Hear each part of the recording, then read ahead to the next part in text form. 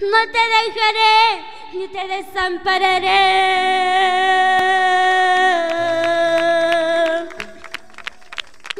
Vamos con ese canto.